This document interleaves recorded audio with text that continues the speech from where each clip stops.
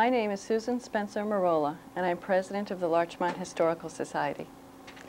I would like to welcome you to this, our introductory program of I Know a Village, produced by the Society on the occasion of the centennial of the village of Larchmont.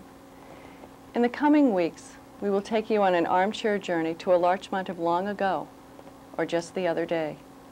We will explore the many dimensions of Larchmont life, government, family, religion, education.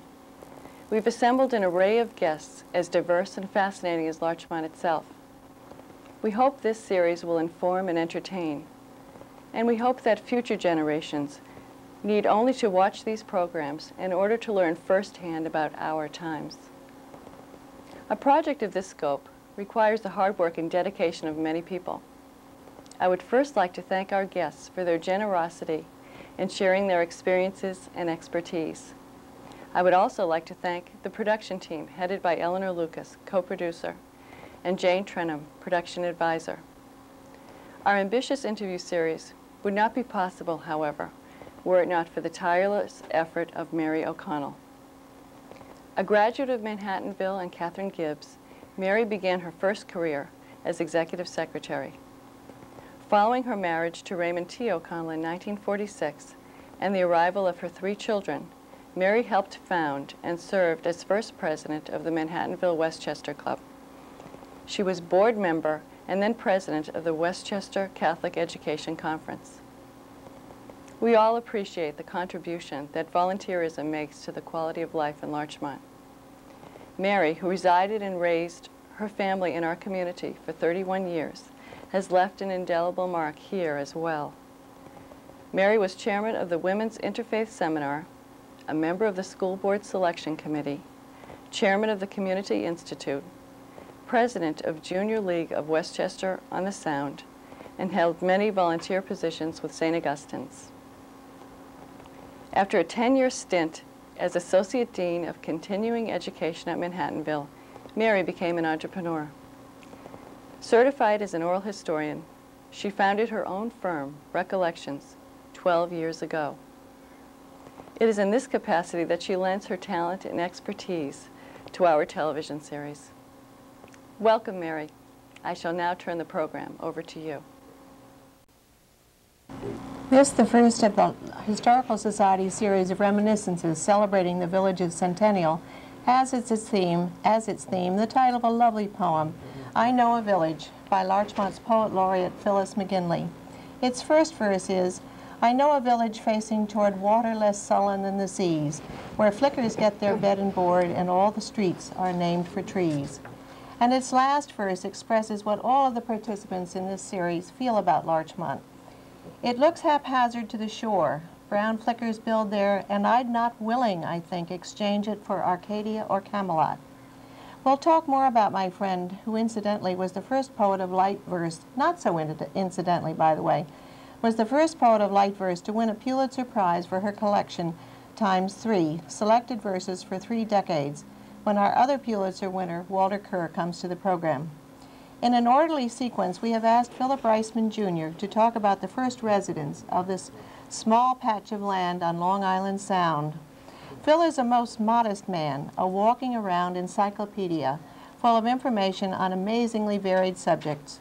As a freelance film and TV writer, as he says, for 43 precarious years, he has drawers filled with the most distinguished award a writer can earn. To mention just a few, seven Motion Picture Academy Oscars for documentaries.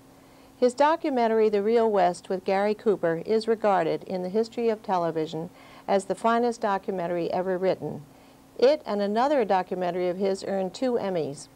And one of television's, television's most prestigious awards, a Peabody, was given to him for his adaptation of Mark Twain's Pudd'nhead Wilson. His volunteer work spanned many years of scouting, the Larchmont Avenue Church Sunday School, where, which his five children attended, and dedicated service as a sergeant in the town of Mamaroneck Auxiliary a valued member of the Larchmont Historical Society's board, you've been reading his fascinating flyers, a slice, a slice of Larchmont life, which the Society has been distributing for the centennial months. Philip, I turn it over to you because you are going to start with the first people who lived on this patch of land, as I said. Thank you, Mary. It's going to be hard to follow that introduction, and I hope I don't disappoint you. I, I thought that the in, you could pick an arbitrary date to begin the history of Larchmont, and so arbitrarily I picked the year 1614, because that was the year that uh, Larchmont left the Stone Age and entered the Machine Age. That was the year that a little Dutch sloop, the Onrust, the, the Restless, sailed out of New Amsterdam, the Dutch colony of New Amsterdam, sailed up Long Island Sound on an voyage of exploration.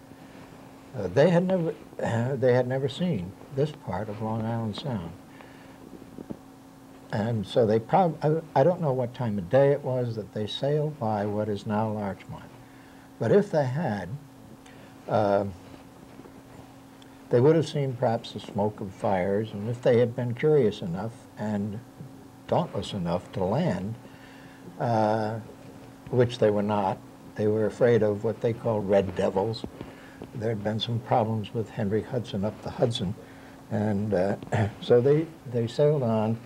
Uh, but if they had landed, they would have uh, discovered uh, the original people of Larchmont. Now, there was, this was not a village here. This was between two villages. it was common land between the village, uh, an Indian village called Mamaroneck, which uh, really means place where he calls them together, and the village of Shippa, which was on Davenport Neck in New Rochelle. This was common land between them, and it was used seasonally, usually during the summer, uh, for fishing and hunting. So in a sense, the original Larchmonters were commuters. They were going from one place to another to their place of business. Uh, although they did tend to stay, they would not have, there was no village here, as I say, it was common land. Uh, the only evidence that we have uh, of it uh, is down in Manor Park. Uh, when there was, when they were building the park, they uncovered huge deposits of oyster and clam shells which indicated that these people would come over there for doing shell fishing. Um, the Premium River uh, was, uh, there was evidence of fishing weirs underwater, uh, which were traps, fish traps. As the tide would go in and out, it would trap fish. And then when they could harvest the fish with baskets and uh, uh, sharp sticks and spears, and a on the corner of the uh, uh, Pinebrook Drive and uh, Palmer Avenue and the public park there, and the, there's a, uh, a baseball backstop. And just behind that backstop, there is a projecting shelf of rock. And there's, there is record that that was, at one time, had been a fishing camp or hunting camp, either one. It was on the, uh, it, uh, directly adjacent to the Pine Brook, or Gravelly Brook as it was called in the early days. And it was a fine place for hunters to wait for game to come down and drink. Um, recently, excavation was, a tentative ex excavation was, was uh, done there, and nothing was found. A few flint chips, evidence that somebody had been working on, uh, on a stone implement, but uh, the excavation did, did not last long and was not so extensive that it, would, that it turned up any more. Uh, and then the Shel Sheldrake, uh, Sheldrake River, which uh, leads up into the reservoir, uh, was also uh, a, a known hunting site. But those, that's the, about the only physical evidence that we have of the people that lived here. We know who they were because when the first Europeans came, they met them. Uh, they were a people called the, uh, the Siwanoy. And Siwanoy meant Southerners. And apparently it related to the fact that they were part of a federation which extended up into Dutchess County, and they were the southern part of that uh, thing. They were members of a tribe called the Mohicans, not Mohegans. The Mohegans were uh, over in Connecticut. but uh, although they sh shared a common language, they were not directly related. And they were, they were an Algonquin people. And Algonquins were, uh, Algonquin was, a- was a uh, language group. And uh, it united uh, all the eastern coastal tribes from uh, Quebec all the way down to North Carolina. They, they all spoke the same language or variations of it. They, since they didn't have a great deal of contact with each other, the language changed as it went up and down the, the river. Uh, it is probable that had uh, the crew of the Onrus landed, they would have been able to understand them because they had learned some of the, the language from the Indians on Manhattan. This was just their fishing and hunting ground? Uh, They commuted back home? Yeah, and they also fished and hunted from their villages. Uh, but this was this was like the common. It was the common land that they both could use. Uh, and but fishing and hunting uh, would be their primary purpose. You couldn't hunt too close to home because the game didn't come that close, so you had to get away from it. Fish fishing you could do anywhere, but apparently there was great shell fishing in this area, and that. Uh, um, and that was an attractive thing for, for both the people. The um, the summer visitors, which is really what they were, they were the first summer visitors to Larchmont, uh, did not live in houses. Probably they lived in tents or lean-tos, tents made of animal skins or lean-tos made of uh, uh, saplings, uh, so that uh, the typical Siwanoy village that we're familiar with, which, which with the derby hat-shaped bark-covered houses or the loaf of bread-shaped bark-up houses, you'd have to go to Rochelle and Mamaroneck or Shippa and Mamaroneck to find. The people were probably, uh, uh, the, one of the problems is that there are very few accurate or believable, reliable descriptions of much of this, mostly because the Europeans who first came here were not that interested in them. They were considered them more a, an impediment to, to the land than they did of, curiosity. But the records that uh, do exist indicate that the people had that were very tall, uh, six feet high, which was at least the was men. unusual, It it? was unusual. Uh, they were, uh, they said tawny colored, which meant they were, had a Mediterranean cast to their skin. They painted themselves red, which is, which was common with most of the Indians around here, and they, uh, most of the Eastern Indians. They used a red ochre that they found and uh, mixed with deer fat. Uh, partly they thought for beautification purposes, and partly to keep away stinging insects, and also uh, as a prevention from sunburn. But it uh, it enabled the white colonists to refer to them as red devils and redskins, and that's Oh, where the that's word the redskin. Mhm. Uh, the men were uh, dressed. You know, we're so used to the concept of the American Indian as wearing the Sioux eagle feather war bonnet and the buckskin fringed shirts. the men wore what was be resembled very much a Roman toga. It was uh, the right arm was bare because they used that to handle their tools and weapons, uh, and it was uh, deerskin usually. they uh, in their hair, uh, they tended to uh, shave with a with a burnt rock, with a red hot rock. They would try and burn off the stubble on their hair, and they had a comb up and down the middle, like a dragoon's helmet, with the uh, uh, deer, which they reinforced with red dyed deer deer uh, uh, deer deer fur. Uh, they wore turkey feathers in their hair, the same way the Sioux wore eagle feathers. A turkey feather was was highly prized by these people as an ornament, and apparently had some kind of heraldic significance. They uh, they they were barefoot mostly around the camp, although they sometimes wore uh, moccasins made out of uh, corn husks. They were disposable. Deerskin moccasins they saved for the trail, where there would be extensive wear and tear on their on their shoes and on their feet. The women wore what would be called a shift dress. They, they had no needle and thread. They did not sew. So what they would do, they would make a poncho with a hole in the middle for the head, and they would fasten it down the sides with thorns, just uh, pushing them through. Um, as I say, they didn't. They had no weaving skills at all, except very rudimentary. They would weave rushes and grass to make mats, but as far as their clothing was concerned, they they didn't.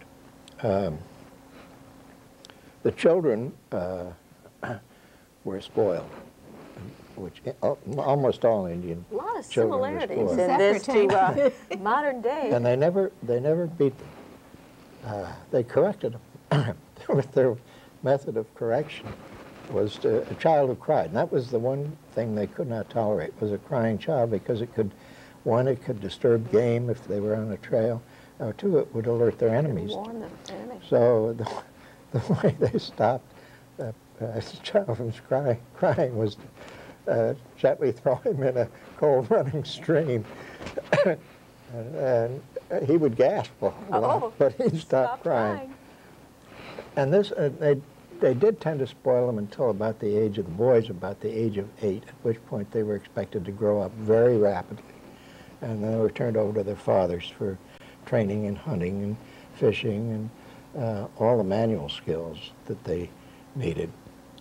The, the uh, problem, the, the difficulty that the women had was that everything they, that they did, everything the men did was dangerous, which wasn't a whole lot, unless there was, everything the women did was arduous, which was everything. they did the building, they did, they did the, the farming, except for the first plow that was turned, was ceremoniously turned by a, a man who then sat under the tree and watched the women do all of it. Excuse me, do all the farming. Another tradition I was handed gonna down. Things haven't changed. uh, these people were uh, of a culture called the woodland. It was the last of the of the primitive cultures. They were uh, so the last thousand years were woodland Indians, which meant that they they were no longer nomads. They were no longer just hunters. They were no longer just fishermen. They couldn't move from place to place because now they were farmers. And farmers had to stay where the crops were.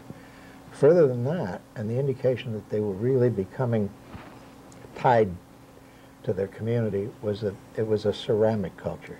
They made pottery, and no Indian could, no Indian tribe would make pottery if it had to travel. The, the Sioux, the horseback Indians, had no pottery. They put everything uh, that they owned, if they moved, and they moved constantly, in uh, buckskin Pouches envelopes or pouches. But you couldn't move if you had food and everything else in, in pots. So this meant that uh, this end of the scale of, of Indian life was no longer nomadic. They were living, uh, given, left alone for another couple hundred years. They would have developed probably or possibly the same kind of culture that the Pueblo Indians had. They were sedentary. They stayed. They built houses. They were no longer living in tents or huts. They were living in, in houses with windows and doors. And, but that wasn't to be in Larchmont. Uh, When you're, when you're talking about where they live, Phil, what, what uh, geographic area was this now, they- the village? The, the, the village, which village? Are we, we talking- Larchmont. Larchmont was not a village then. I know, It- where did the Indians, what, Uh, where was their well, encampments? Encampment? We have never found any, in- any indication of where they camped. All we've ever found is where they worked. Oh. Uh, There were never very many Siwanoy Indians to begin with. We tend to think of Indians as being rather numerous. The, uh, these Indians lived, the Siwanoy lived in an area running from about 125th Street in New York City all the way up to Norwalk, Connecticut, in little villages. Uh, There must have been, at at any one time, maybe 15, 20, 30 little villages, and never very many people because uh, the economy couldn't have supported a large population, and it tended to limit Phil, could I ask a question? Sure. I read somewhere that there were never more than about, it's estimated, never more than about 300 That's right. At any one time, and I always wanted to check that with an expert because it's just astounding Well- to think of. I, my guess is, and it's all a guess because I don't think anybody really knows, the problem is the pe- people who are in a position to know and note it weren't interested, so that now we can only guess. Uh, You have to base it on, on the economy, what it could support. Uh, may, I think there were more, more than that, but, but Mamaroneck, for instance, might have been as many as 80 or 100. Uh, Shippa, New Rochelle might have been the same. Uh, and they were among the, the larger groups. Uh, and also many of them were interchangeable. They kept changing. They were, they were not nomadic, but they were not totally sedentary. And it's hard, since nobody took a census, to know. You No just have to guess. No. I always heard that they uh, had a large encampment on Cortlandt Avenue overlooking the harbor. I'm sure they did. That Yeah, would have that been would an have been an ideal ideal place. spot. Yeah, sure. In fact, In fact, they, they dug. I had a friend that dug in the ground and found all kinds of right. and things there. That's where you'd find it. Uh, there, around uh, Cedar Island is another place where they have found artifacts, Mm-hmm. Relatively, relatively few. And one of the reasons is that our topsoil has been disturbed a great deal over the years. It's a real estate area, as you know, and there's a lot of digging, and there's a lot of gardening. There's a lot, a lot of, uh, uh, in fact, Westchester County and York County, Virginia, and um, uh, Plymouth, Plymouth, around Plymouth, Massachusetts, I don't know what the county is, are probably the three of the most um, archaeologically disturbed areas in the country. Yeah, I didn't know Mostly that. because they were the first settled, and also they are, have been developed and redeveloped over so many years.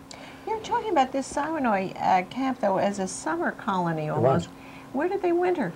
Well, that's an interesting thing. They, when you build a house, you can, and put fires in it, you can stay, but they didn't. They, they moved back from the shore, To, uh, back into the woods for a couple of reasons. It was the, where the game was, and that was starvation time usually anyhow, unless they could save enough and dry it. So they would tend to move back into the woods inland, maybe up uh, as far as the, uh, the old Larchmont Reservoir or further. ah, Uh, they couldn't go too far because if they went too far, they were in somebody else's territory. But, uh, but that, no, that's generally what they did. And this was summertime in here. Uh, and they, of course, they could dry fish. They could do all sorts of thi- things to to save them from uh, real starvation problems in the winter. They were they were not particularly Indians generally uh, did go through starvation times because their knowledge of food preservation consisted of drying sure. Uh, But farming was their main a- activity, and it required the closest attention. And their main crop was? There- They had three main crops. They called them the Three Sisters. They had beans and squash and corn. And they, they would plant the corn first, uh, it would grow, then they would plant the beans below it, and that would climb the corn, and then the, the squash would be down at the bottom. And there was a reason for that, is that it would save the arduous task of tilling a large area. Those women were smart. They sure were. They were exhausted. And uh, also, here, and they would be probably as close to the water as they could get without, to the sound as they could get without the burning wind. But partly because they fertilized these mounds with menhaden, Ah. which is a very oily fish. And, uh, and they did, they knew about uh, fertilization. Uh, they had no metal, of course, because as I said, this was a Stone Age people. And everything they used was made out of either wood or shell or stone. Um, and the only thing that we have left is what was made of stone because it was not perishable. But the, most of their tools probably were wood or bone or shell. Uh, but farming was especially difficult because it had to, the ground had to be cleared unless they could find a natural meadow. There is one in Mamaroneck which was recorded as having been a, a natural meadow, and that's uh, Columbus Park. And that was, if you could see that and not see the trees, that would have been a, an ideal place for them to use as a farm. Uh, they had no animals, no, uh, except the dog. That's there were no outside. horses, no oxen, uh, no domestic animals. The dog was a descendant of a prehistoric dog which probably came over the land bridge with the first Indians, and it was strictly an Asiatic dog. It was a, uh, a breed of its own, and it turns up everywhere in North America, the same dog, and still you can find in, in Indian uh, camps. What kind of a dog? Well, the, the characteristic was a curly tail. It had a cor- it, tail went out and then it took a curl and went straight out again. You can see it in early paintings uh, of the West. The earliest paintings, there's always a camp dog in there somewhere, and there's a little curly tail. Um, they were not pets, the dogs. They used to keep them hobbled so they wouldn't dig up the fish that they planted in the uh, To and fertilize? the, fer- yeah, the fertilize. They, uh, they were watchdogs. They Hmm. were, were not friendly. They were strictly watchdogs. Scavengers, they kept the camp clean. They would eat refuse. And in a starvation time, they'd Eat throw the the, dog dog? in the pot, too. They, they had no great affection for, for them. Uh, as I said, these were a ceramic people. They made pottery. Uh, and they made them the way we made it in kindergarten. Take the, you know, make coils, and then you'd coil them around. The clay was uh, ordinary mud, and it had a binding uh, with mica, mica or, or ground up uh, shells, that, which would hold it so they could withstand the firing. Uh, no decoration, uh, no painted decoration. They hadn't attained that yet. What they did was they incised little bands around the top. If you ever come come across it, it's the only way you can recognize that. If you find a fragment, and you find a fragment of the lip of the pot, as, as though they'd taken and did, in fact, take their fingernail, make little crescents all the way around it. Like a pie crust. Well, did they have an aesthetic sense? What? Well, to that extent, yeah, it was primitive. It was primitive. It had mostly feathers and shells and things like that. Uh, as far as we know, they did no painting of any kind. Um, the decoration was, was incidental, although I imagine it was. Uh, they did they did like the the beads and the jewelry, so they, they had an aesthetic A sense of design? Yes. Well, no, not, it was limited to the fingernail going around. I mean, As far as I know, there I mean, they no- never got no- beyond kindergarten. No, not really. Pot making. And their fishing, to, to go briefly into that, they, were- they were major fishermen. Um, They, uh, the shellfish, of course, were the easiest to gather, and they, you could do it with the greatest, uh, without any risk. But uh, they had canoes. They had uh, huge dugout canoes. Uh, they did have some elm bark canoes, which they used on, on slow-running water, but primarily they uh, they used the dugouts, and they were anywhere from uh, oh, five to 15 feet long, and they were enormously heavy. So they had huge projections on either end that looked like bowsprits on both ends. And they were used to carry these things because they were, as I say, very, very heavy. Um, they would go out to, in deep water with them. In fact, even used to go whale hunting with them. But they didn't go for the big Moby Dick whales. They went for the little whales, and they would tend to beach them. They would herd them to shore and let them beach themselves. And uh, and sturgeon were the two uh, big game fishes that they, that Ah. they saw. Ah, Uh, now, we get to the part where they start to change, and they start to change with the arrival of the colonists, um, who wanted the English colonists and the Dutch were interested in land. The French wanted furs, they wanted pro- uh, things. The Spanish wanted gold, but the English wanted land. They came from a small island where there was no more farming land. And here was a whole continent opening up, so they could hardly wait to get in there and plat it off into well, I into think farm. Judy's going to pick up on the, the European settlers, so Oh, fine, fine. So- Well, I'll just indicate then that what happened was the, uh, were you going to talk about the wampum? Go right ahead, please. I was not going to talk about the wampum. Okay. Well, the wampum was important because it marked the end of the Indian culture. When the English got here, they were a commercial people, and they were used to buying and selling. They were unlike the Spanish and the French, particularly Spanish, who would take it and offer no recompense. The English had this strong sense of fairness. If you want something, you pay for it. The only trouble was the Indians had no currency and didn't understand currency or uh, money. So the English did a very English thing. They invented a currency. They took the thing that the, Indian prized the most, which was the shell beads, the wampum, which also, besides being decorative, were also uh, uh, ceremonial.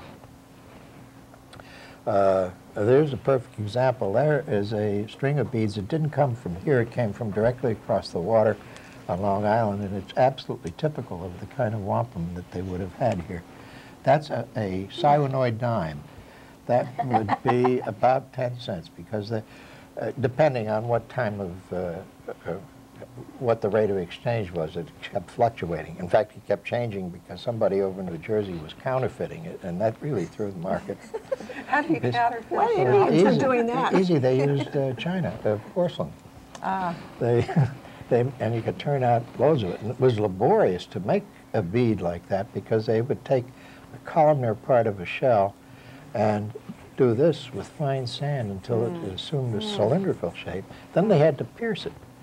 So they would take a, a hard reed of some kind with a sharp point and they would, again, do this mm. and throw in very fine sand to give it a grinding surface. So the amount of, of labor that went into one of those things alone justified the, uh, the value that they put on it. But as I say, the value was uh, tended to fluctuate. Uh, and uh, I just arbitrarily said that was a dime, but it could have been more or less. And probably was about uh, uh, five English pennies, which would have been 10 cents. But they needed that because they wanted to buy the land. And they decided they were going to buy Mamaroneck. Uh, John Richbell bought it, uh, and reading the deed, uh, Well, now Judy's going to talk Ah. about that. let- You gonna read that? I'm, I'm interest- interested to hear what Phil has to say. well, uh, I was just going to say, reading the deed where it was 100 fathoms of wampum plus 10 shillings in what were pro- in wampum, which was probably unstrung beads because it was more valuable strung than it was loose. Yeah. Uh, the total, depending on the rate of exchange at that time, and I can only estimate, if it was white beads, which were the least valuable, uh, these are white beads, although they, they look kind of gray, what he paid $102 for Mamaroneck. It was all in black beads, he paid $306. Uh, it was a better deal than uh, Peter Minuit gave for the, for the island of Manhattan. It was $24 allegedly in trinkets, and because the Indians he bought it from didn't own it, they were the Canarsie Indians on uh, on holiday, I guess. That was the earliest scam in, Yeah. in the history of this Not country. such a good word for real estate. But anyway, uh, Wapaquium, who sold it, uh, didn't do too well either because he never collected all the money and he tried to sue, and as far as I know, that's still in the courts. But anyway, that was the end of the Stone Age in Larchmont. And uh, if you want to know what happened to them, nobody knows for sure. They, they disappeared due to the blessings of civilization, disease, alcohol, intermarriage, enemies, they had many of those, and fled to, Dela- to the Delawares across the Hudson, were absorbed into, who were friends, absorbed into the Delaware tribe just in time to get moved to Oklahoma. So then, that's the end of the Siren. Wonderful. Oh, Philip, you, got, you brought something else along. Oh, yes. Well, this is the Stone Age. When I was a boy in New Rochelle, I found these three while working in the garden with my mother. Uh, no, I'm sorry, I found these two. This one I found on the way to school. Uh, it was the day I wasn't anxious to get there, so I was exploring all the. I was about nine years old. Uh, and these others, uh, my wife's family had these. They were the upper part of the Siwanoy Range up in Norwalk. Uh, these are uh, intrusions of some kind. They're, they're Westchester County, but uh, they may predate all of this. I, I don't know, and I have no way of knowing. But these are Uh, the typical. If anybody is working in his garden and sees a little, these are characteristic of all Algonquin tribes. So that if you're in Massachusetts or uh, anywhere along the Atlantic coast and you see a white quartz arrowhead, it's a Siwanoy. Probably, not necessarily, but probably. Well, thank you very much. That's only one subject that Phil is an expert on. Uh, he has so many others that I think he should be invited back over and over and over again. We turn now to um, Judith Spikes. Many people who will appear in this series have and are making significant contributions to the quality of life in the village, but the significance of our next guest's work cannot be overestimated. It is and will evermore be the village's cherished treasure of archival material, pictures, oral histories, and videotapes.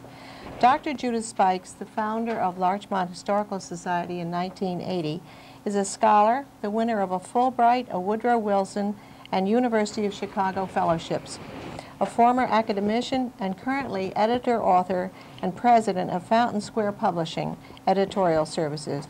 A resident in the manor, she has written two brief histories of the manor, round and about a brief of account of who was who and what was what, and Larchmont on the Sound, the rise and decline of resort hotels.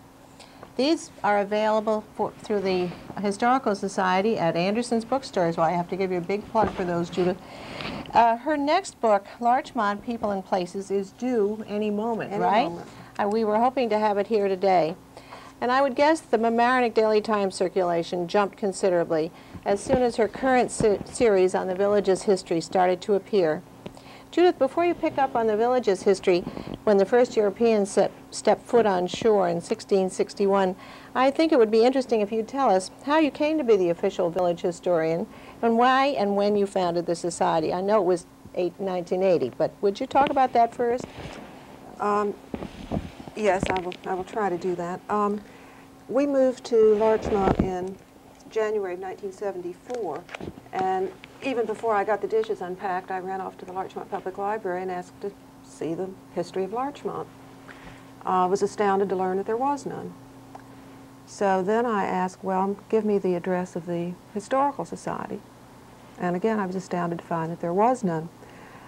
Um, I began um, researching primary source material, looking for the history of Larchmont, since there was no published history. Uh, I, I really started, as best I recall, with deeds, because I, one of the first things that I was curious about, I was told that the house that we'd moved into had served for some 25 years as the Manor School for Girls, and I wanted to know more about that. And from there I branched out. Once I got into that, then I began to get interested in adjacent pieces of land and the, the names that appeared in the deeds.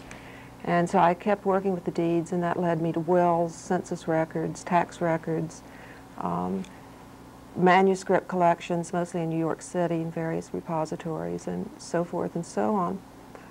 Um,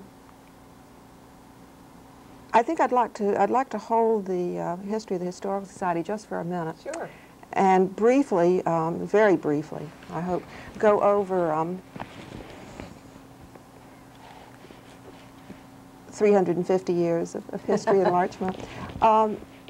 Probably everybody does know that the first deed to the land that um, Larchmont now makes up a part of um, was made in 1661, and that was between John Richbell and two Siwanoys who claimed to be acting for, this is in the deed, all Indians living up Hudson River and elsewhere in America. Um, I'm sure Phil could tell us a great deal about um, what was going on here, whether the Indians um, understood, had any idea of what was being written down in the deed, whether they had any idea that the uh, Europeans really thought they were buying the land instead of just renting it and so forth and so on. But at any rate, that was in 1661 the first, um, the first document detailing European ownership um, of this land, and that included um, just about the same six and a half or so square miles that now make up um, um, the town of Mamaroneck. Now, it was another 40 years before anybody settled on the square mile of land that now makes up the village of Larchmont. Uh, that happened in 1699. Uh, the Palmer family, originally um, part of John Winthrop's fleet of Puritan reformers and having started out in the Massachusetts colonies, and then migrating through Connecticut and to um, the borough town of Westchester, which is now in the Bronx, and finally to, um, to the town of Mamaroneck and onto the square mile of land that now makes up the village of Larchmont.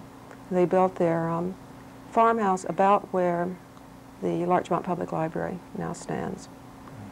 Um, Samuel Palmer and his wife Mary Drake had six sons, and right up to the Revolution, the Palmers were um, just about the only people. There were some allied families, but they were just about the only people who lived in what we now call Larchmont.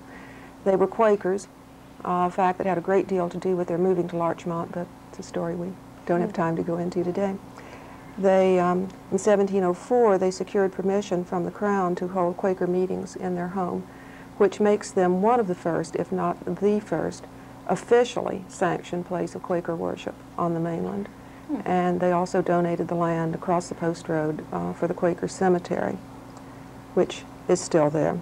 The meeting house that was built there was moved some time ago up Weaver Street, and some remnant of it probably survives in the Scarsdale Historical Society's um, museum house, some small remnant, perhaps, of that um, original meeting house. Now, as I say, the Palmers were pretty much the only people who did live here right up to the Revolution. Um, when Samuel died, he left his property in four equal parts to his four surviving sons.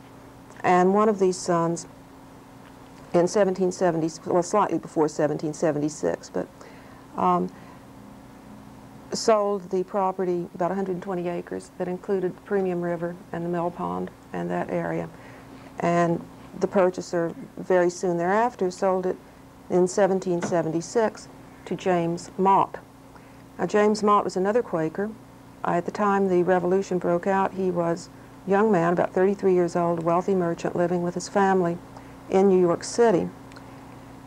And he had had um, ancestors, a, a, great, great, great something or other. Captain James Mott had lived in uh, the town of Mamaroneck at the time of Richbell. But for, and his, uh, James Mott's in-laws were living in this area. So he decided that it would be a safer place to bring his family during the Revolution. They left New York City, they bought this property on the Premium River, and it was perhaps not quite like jumping out of the fat into the fire, but Westchester County, and particularly lower Westchester County, was not a good place to be during the um, years of the American Revolution. Um, it was called the neutral ground, but what that really turned out to mean was that it was a no man's land. There was no sort of government, either civil or military, to protect the inhabitants. Uh, they were overrun first by one army and then by another, uh, by band, they were called cowboys and Indians, and it, uh, cowboys and skinners. And as you read the stories about these bands of outlaws, um, and if you happen to remember the old um, cowboy and Indian movies of the 1940s or so, it seems to have been pretty much mm. the same sort of thing. Now, the Motts did manage to hold on um, through, uh, through the Revolution. And I just want to mention one thing.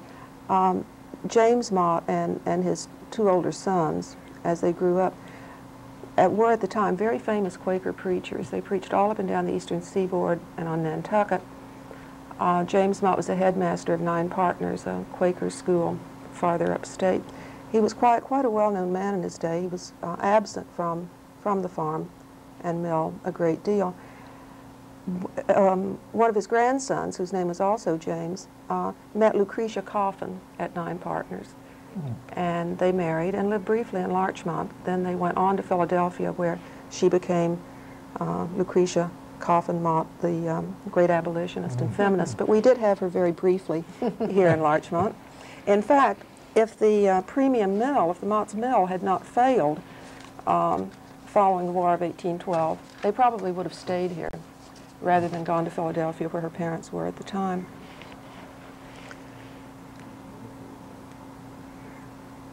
Most of the other people who were living here during the Revolution, however, they, they gave up and moved away during the war. So by the time the war ended in uh, 1783, most of the land was for sale. To they moved away where? politically? To go to Canada or Not go? that far. they moved inland um, Were they Up maybe. Tories? For safety more than for safety. politics. No, no, for safety. Uh-huh. Okay. For safety. Uh, it was very much a civil war here, probably about half and half, um, patriot and loyalist. And but it was mostly for safety. They moved away. The land was for sale, and in 1795, Peter Jay Munro began buying up most of the rest of the Palmer uh, purchase. Now the Motts were still here, but most of the rest of that uh, square mile of land that the Palmers had bought was for sale. Peter Jay Munro, spelled M-U-N-R-O. I mention that only because I keep seeing it spelled The wrong way. the wrong way. Um, he was the son of an Anglican clergyman um, who was um, attached to the Van Cortlandt estate in Yonkers. And his mother was Eve Jay, um, sister of John Jay of Rye. Now, when the war broke out, uh, Peter Jay Munro's father abandoned the family. He served uh, for a short time with the British forces, and then he returned to England. Uh, Peter Jay Munro's mother had what we used to what used to call a nervous breakdown, and so Peter, who was their only son, was raised by his uncle John Jay Now he bought his first piece of land in Larchmont, as I say, in 1795, um, when he was uh, recently married and a young lawyer who had just completed his apprenticeship in the law offices of Aaron Burr. In fact, Aaron Burr assisted him and his wife in eloping from a New Year's party to get married because uh, his wife's family thought that he was not um, a suitable match for their uh, wealthy and high-born daughter. Um, Munro um, built the uh, what we now call the Manor House at the head of Prospect Avenue on Elm. And he also planted the larches along the post road that later gave our village its name. But the name itself was coined by the next owner of the property, who was a man by the name of Edward Knight, K-N-I-G-H-T, Collins. Now, Phil probably knows who Edward Knight Collins is, and if there are any um, people in our audience who are um, um, American shipping history buffs or other kinds of specialized historians, they no doubt know who he was too, because he was, was one of the most famous men of his time. He built the, he was a naval architect. Uh, he, he designed as well as had built and operated the first American steamships to cross the Atlantic. And he ran the first U.S. mail service to Europe. Um, when he purchased um, the old Munro estate and named it Larchmont, he was pretty much on at the peak of his career. But very soon thereafter, he um, his ships suffered a series of disasters. He eventually became virtually bankrupt, moved off to take care of his um, iron mining properties in Ohio, and the um, estate again went on the auction block.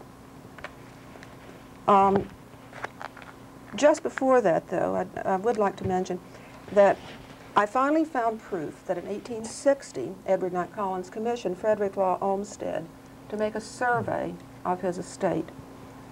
There's no evidence in the Olmsted papers in the Library of Congress that uh, this was carried out. Um, it, very likely it was All these years, out. I've thought this was done by Frederick Law. Yes, that's why I, Olmsted. I wanted to um, bring this out. Judy, uh, identify Frederick Law Olmsted for our viewers. Well, Frederick Law Olmsted was the first American landscape architect, and in 1860 he would have been famous for his fairly, re- at that time, fairly recent design of Central Park. And yes, there is a persistent um, myth He didn't do Manor Park? that the great man himself designed our beloved park. Um, he was, there is proof, as I say, that he was commissioned to survey all of. Collins' estate in 1860.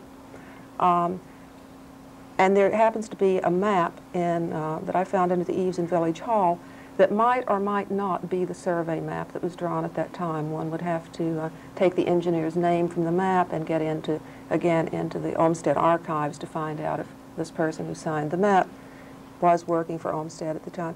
But this, no doubt, is the origin of this, of this myth. It began, probably began at that time in, uh, in memory. And then as it rolled down through the years, well, we know very well who designed Manor Park. It was uh, designed by um, Frank Toll. Um, his name is on the map that he drew and so forth and so on. Uh, which is probably, I'm getting a little off my story, but I've got a couple of seconds. Inspired. Um, Probably a- another piece of, of the oral legend uh, was contributed there because, first of all, Toll was a, um, he, he bought the uh, gingerbread house Ah, in 1872, one of the first two families to buy in the manor. And he, um, but he, his permanent home was in New York City, where he was an engineer associated with the city of New York. May I ask you one question before you do that? Tell me whether it is a myth about the Underground Railroad and the slaves in the manor manor house house? and the Well, dungeon think- in there. I think I'm going to have to hold that for a minute. Okay, all right. And um, also Frank Toll's father, Jeremiah, who was, again, a very famous man of his time. In fact, the Toll House is a, a museum house in New York City now, um, had been Parks Commissioner. So my, I believe that that myth no doubt originated, it's, uh, things all get mixed up in memory when they're not written down, when a, a history book isn't made out of them. And I believe that this is the origin of the myth, the combination of um, Collins having commissioned Olmsted to survey the property, and then the fact that both Frank Toll, who who drew the, the, the map, map 610, and um, his father Jeremiah were associated with the city of New York and with Central Park, and probably in some at least tangential way with Olmsted in the design of the park. Um, now, when Collins went, as I say, Collins did go bankrupt, and the estate again went on the auction block in 1865. It was bought by Thompson J.S. Flint, um, at that time a New York City banker. He'd been born in Maine and made his fortune in Illinois, but he was living in New York City at the time that he purchased the property. In 1872, uh, Flint formed the Larchmont Manor Company to subdivide um, the property. It was 288 acres. Uh, that was when he uh, commissioned Frank Toll to draw the map, map 610, uh, defining the area of the manor. And Flint announced in the New York Times that it was his intention to develop the property as a suburb for the families of New York City businessmen of moderate means. But this undertaking got off to a slow start, and most of the dwellings erected in the early years were only summer cottages, not year-round residences. So that Larchmont became, in effect, for, oh, somewhere between 10 and 15 years, more of a summer resort than a suburb. Like the Siwanoy. Yeah.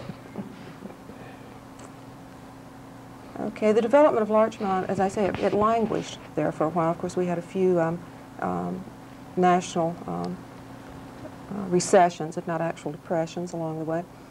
Uh, but it got a shot in, the- in the arm with the formation of the Larchmont Yacht Club in 1880. Um, many fabulously wealthy men, and they, of course, were all men, um, subsequently joined the club. Uh, a couple of names that come to mind are Caldwell Colt and J.P. Morgan. These people did not live in Larchmont, even in the summer, but their association with the Larchmont Yacht Club brought uh, fame and a, a sort of aura of um, leisured aristocracy or something to the area. So that by January of 1891, enough lots had been sold that the Larchmont Manor Company announced its intention to disband. Now, at that point, a committee of people who had bought lots in the manor started meeting to try to decide what should be done to maintain the streets and the other public services that the Larchmont Manor Company had previously um, provided. And at last they decided that the, after considering several possibilities, they decided that what made most sense was to incorporate as a village. So after fulfilling all the required formalities, incorporation papers were filed on September 2nd, 1891, and Larchmont became a municipality. Now, I'm not going to go into the subsequent history of the village, except that I would like to point out three, uh, what I think are the three most important factors in the history of the village as having been already established in 1891. The first factor is geographical. The long shoreline on Long Island Sound, because it was the waterfront, um, as Phil pointed out, that drew people here from the days of the Siwanoy Indians through uh, the Palmers, the Motts, um, the Munros, the Collinses, and, in fact, the Flints.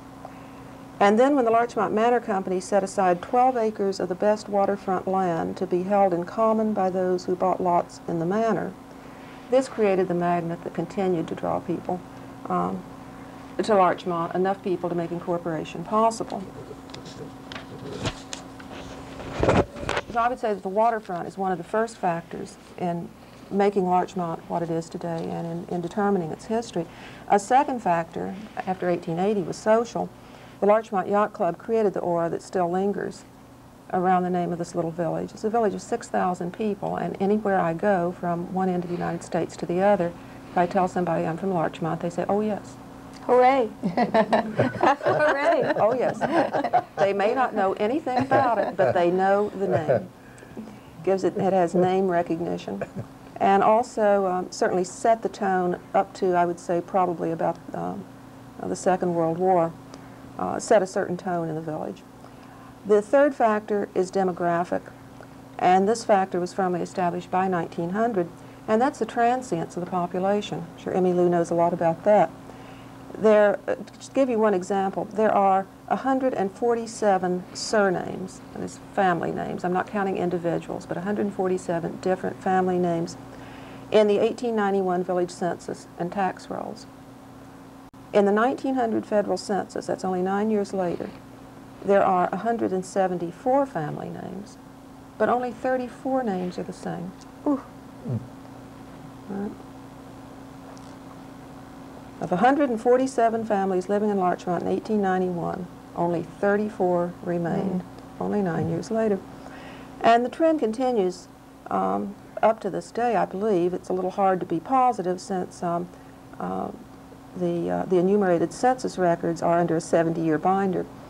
But um, of the families, as far as uh, you know, we can tell from the evidence, of the families counted in any decennial census, at least half, on average, moved on by the next. And this trend, um, and up until 1980, those who departed were more than replaced by a fresh wave of newcomers. After 1980, we began to have a population decrease. So to sum up, the waterfront is a magnet, the Larchmont Yacht Club to set a social tone, and a rapid turnover of population. It seems that virtually all of the 20th century history of Larchmont can be explained by some combination of those three factors. Judy, would you touch on, on um, the, the fascinating information that you wrote about, about the resort hotels because it the village was on the water? Mm-hmm. Um, uh, yes, the, this um, began really with um, the era of the resort hotels began actually because the Larchmont Manor Company was not so successful in uh, selling its lots at first, and some of the uh, people who had bought and built summer cottages um, fell on hard times. They opened their houses um, in total violation of the uh, uh, deed covenants to boarders, and for the most part, um, the lesser, at first it was sort of the lesser um, stars of um, the stage and vaudeville uh, began to frequent these um, boarding houses in the summer. Um, then some more important and wealthier um, such people were attracted, and hotels specifically designed to cater to um, this kind of a clientele were built. Of course, the only one um, that remains in its um, original form is the Manor Inn, which originally was called the Belvedere. And the Bevan Hotel, um, the front part of it is still the same. was sliced it's now in a half. house. Yeah, it's now it's now a very large house. It still remains. Um, and it gave a, th a whole theatrical flavor, and it, it, Larchmont began to attract a lot of artists, writers, uh, people of the arts Mm-hmm. that it might never have attracted if they hadn't come in the summer originally. um, No? Yes, yes, perhaps. There, there was certainly a, a large theatrical colony here up to about World War I, a theatrical colony in the summer. I had heard, and I always put this in the myth category along with the uh, underground chambers and the, so on.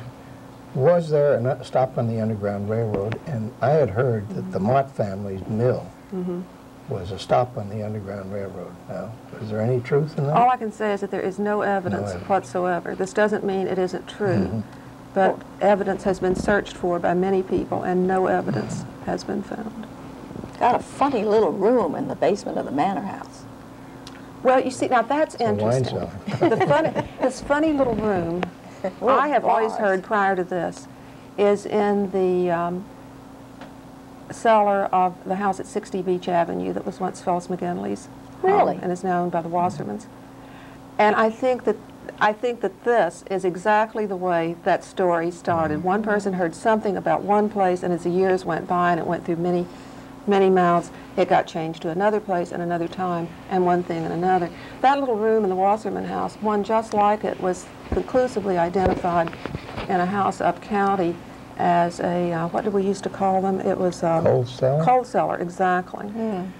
There's another thing. I think the name Underground Railroad suggests something that is underground, has a mysterious sound to it, when in fact it could have been an attic. I mean, you hid the slaves wherever they were least likely to be found. But the word underground then suggests cellars, and you find a funny little room in a cellar, root cellar or a cold cellar. And that can uh, very often, as folks say, I think, not mm-hmm. history. And this is mm-hmm. uh, Well, Judith, we'll come back to you. Okay.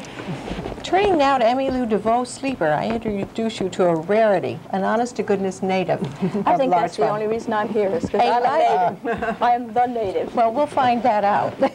You're a lifetime resident of the village, and she's as passionate in her love for Larchmont as Phyllis McGinley was. She just hasn't had time to take pen in hand. A graduate of Mamaroneck School, she found a summer job at age 17 at Time magazine to replace an office boy who left for service in WW2. An English major at Smith College, she took her shiny diploma back to Time and found a job first in the International Public Relations Department and later the Personnel Department. After her marriage to Gordon Sleeper, she eventually left for what turned out to be a permanent maternity leave, during which time her three sons, Gordon Jr., David, and Carrie, arrived, were taught proper table manners and how to win academic and sports prizes. A very involved member of the PTAs of grammar through high school, she served on the Student Aid Fund and the School Board Selection Committee and the Village of Larchmont Committee. She was a very active member of the Junior League of Westchester on the Sound, the League of Women Voters, and is involved in Larchmont Avenue Church committees. In 1960, she joined a legendary a member of the Burbank real estate firm. Her mother, Vivian DeVoe, known and loved by hundreds of residents for whom she found houses. Emmy Lou quickly became one of the most respected and successful realtors in Westchester County and eventually president of a greatly expanded Burbank real estate company, which merged with Sutton Whittemore to become Burbank Whittemore on January 1st, 1990. Her professional credits are impressive and lengthy, but it should be noted this past November in New Orleans, she received the most coveted award in her field from her peers in the National Association of Realtors, the Certified Real Estate Brokerage designation. She appears today, however, without any medals or service ribbons or anything. But I think uh, interesting to all of us who've laughed a lot about it, Emmy Lou and Gordon hold what I would imagine is the world's record for grandchildren with the most unusual names. A heady stew of Gaelic and Southern family surnames. Declan, Lydon, Buck, Aiden, C-A-C-L-A-N, which is Keelan, but nobody would know that unless they were Irish, Nye, DeVoe, and C-I- C-I-A-R-A-N, which is Kieran in Gaelic. Emily, why don't you pick up on the village as it was when you were growing up, as it was when you were raising your children, and the village today? Well, what I'm fascinated with is that uh, we're all here for the same reasons, and we're talking about a lot of the same things. People come here, came here then because of the beauty of the place, because of the water, because of the recreation, because of the fishing, back with the Indians, because of the proximity to other things, and eventually because of the wonderful school system. And that's the primary reason they come now. Uh, I was in the first kindergarten class that went into the new school at Chatsworth. The new school at Chatsworth was dedicated in 1930 and is that brick building that was there. And the principal of the school was a marvelous woman named Miss Stewart, who looked a little bit like Queen Victoria and always wore evening dresses to school. I think that's lovely. what that did for my education, I'm not sure. We, uh, How often she- did she change her dress? almost every day. Had lots of ink. And she sort of wafted like a ship under full sail through the halls of Chatsworth Avenue School. It was wonderful. We, I hadn't always thought I would come back to Larchmont to live. But after World War II, and when I came back and started having a family, and my mother was in the real estate business, I couldn't find a house anyplace else that I could afford. And that's how I came back, and I'm awfully glad I did. My children went to the same schools I did, except that the junior high was in a different position. They even in senior high had some of the same teachers I did, much to the chagrin of the teachers in the senior high. I went And your children. yeah, they didn't like that either. Uh, I went to Murray recently to talk about Larchmont for the centennial. And they said, well, what's different? Hmm. What was it like when you were growing up and what's it like now? I reminded them that there was a goat farm where the Washington Square apartments used to stand and that the goats regularly got loose on Chatsworth Avenue and ran across the railroad bridge into Larchmont. And I can remember that well. That was as late as the 1930s. It certainly was. And during World War II, we had many, many um, air raid drills where I was always the injured victim in the middle of a street, labeled broken leg, head battered. So- Slightly confused. slightly confused, always confused. And that's another thing I want to talk about with Larchmont is that the quality of volunteerism as evidence in all those air raid, air raid drills has been marvelous ever since the time I was growing up. Uh, I think there are more people involved in local committees here and at local levels than in any other community in Westchester County. And we like to think that all those moguls that we have who live here or who have lived here, all those wonderful poets and playwrights and television people that have lived here and given their time have given us a quality of life that can't be gotten anyplace else. It's been wonderful. Would you, would you tell everybody the story about your, your mother uh, and the postman? It illustrates to me how, what a small, wonderful village uh, you lived in. Well, I lived in a place that, uh, I lived on Forest Park Avenue when I was growing up, and everybody knew everything that was going on, including and especially the postman. So that when I went away to summer camp one year, the postman named Robert came running up to my grandmother who lived with us and said, oh, baby's sick, baby's sick, baby's got the chicken pox, because that's what I'd written on the postcard. And of course, you always read everybody's postcard. so that was kind of fun. But I do remember wonderful instances of, with my children, when one of my boys decided when he was very little that he didn't want to sleep over anymore at a friend's house and walked down Beach Avenue by himself at midnight, mm-hmm. and a policeman followed him discreetly so as not to scare him, to see that he got all the way mm-hmm. home, and then came in and asked me if he was all right. And I mm-hmm. think that quality of life is still here. I think it's a walk around, bike around town, and it's a village, and it's a little gem You also uh, by had, water's edge. there were so many stories about Emmylou's mother, Vivian DeVoe, who was a who was a, a really well-established opera singer before she married her husband and settled down in Larchmont. But she was a most persuasive real estate lady. She mothered everybody she sold a house to, and she took one couple to a house. You tell the story. Well, she was uh, she was a marvelous salesperson because if somebody passed a house, and this is a true story, somebody said, "I like that house." She said, "Hold on, let's go see if it's for sale." Went up, knocked on the door, and a maid answered the door, and she said, "Hello, I'd like to show this house for sale." And the maid, not knowing any differently, said, "Okay, come on in." People wanted to buy the house, and she convinced the owner to sell it shortly thereafter. So she was quite a tradition to follow. Well, it was a very small uh, office that you entered when you went back to work in 1960. How many people are, are how many realtors are there in all of Larchmont now? Oh, well over 100. Uh, Over a 100. Oh, certainly. Well, over, closer to 150, You're, ta- probably. you're talking realtors, not real estate agents. but Well, realtors. a realtor is a they're- real estate broker, so realtors and realtor associates.